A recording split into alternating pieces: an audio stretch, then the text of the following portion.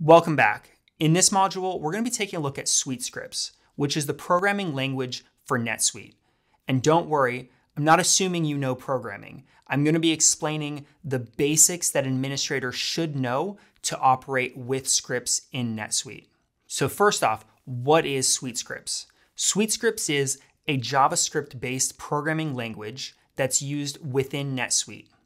And it's used for customizations. You can use it to set up automations as well as integrations with other external systems such as Shopify, Expensify, Salesforce, etc. Now, while scripts have similarities to workflows, you have to understand that workflows do have limitations. So scripts have a lot of additional customizations that workflows simply can't accomplish. So instead of using one or the other, it's best to have both in operation to fit your needs with NetSuite. Similar to workflows, scripts are triggered in their action. So something will occur in the system that triggers the script to occur. It can also be set up on a schedule, so it simply runs on a routine preset time. Now, while a technical consultant or a skilled in house programmer will be setting up suite scripts, for your company's NetSuite instance, you are the one responsible. So it's important for you to know what scripts are, which scripts are running on your NetSuite, as well as know some basic troubleshooting tips. The first thing we're going to be covering is the basic types of scripts. There's a number of different types, but the five main ones that we're going to cover here start with client side scripts.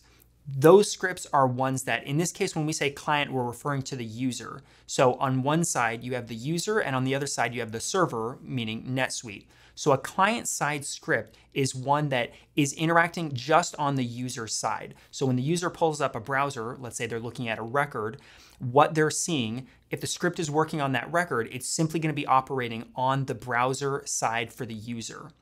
The next type of script is an event-based script, which means that based on some event, let's say the user updates a record and hits submit, so now that change in the record is going back to the NetSuite server. So that event is going to be creating or triggering a change and a script to run on the system side within NetSuite. So that's an event-based script. Thirdly, we have what's called a map slash reduced script.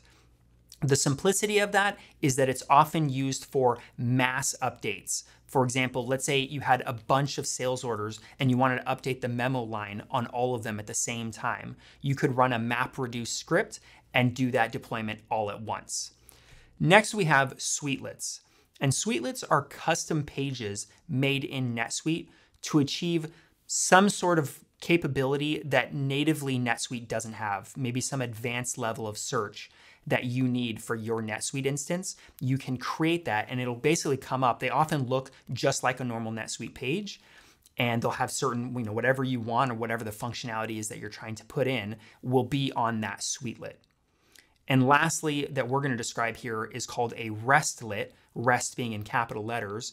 And the simplicity of that is that if you have an integration, like let's say I mentioned earlier, Shopify, Expensify, Salesforce, you need a connector between your NetSuite instance and that external system. And that integration is going to be done using a RESTlet. So those five are some of the most commonly used types of SuiteScript. Next, we have the various versions of SuiteScript. The simplicity is there was a version 1.0, so that's more of the older legacy version of SuiteScript. It tends to be a little bit slower. Then there was 2.0, so that's much faster than 1.0. And the most recent version of SuiteScript is 2.1. There's also a version referred to as 2.x, which is really just a combination of 2.0 and 2.1. The last thing we're going to cover in this video is the location where SuiteScripts live in NetSuite. So understand when you're making a workflow, you're building that in NetSuite. However, when you're making a SuiteScript, that's actually going to be created, that programming is going to be done outside of NetSuite, and then it's going to be brought into NetSuite. And the place that that's going to exist is if we take a look here. So we're going to go to Documents, Files, and File Cabinet. So I described the file cabinet back in the basics of NetSuite course, but once you're here, you'll notice we have suite SuiteScripts down here. So if I click on that, So if you have a bunch of scripts, and right now I'm in a demo count, but if you have scripts in your NetSuite instance, you're gonna see them lined up here. And at the end of each file, you'll see a .js because it's made using JavaScript. So you'll see all those files laid out. And again, this is just to understand where these things are being stored. You shouldn't be messing around with them. Definitely don't change the name of any files that can prevent the scripts from working entirely, but you'll understand this is where they're being housed. And that's it for your overview on SuiteScripts. I'll see you in the next video.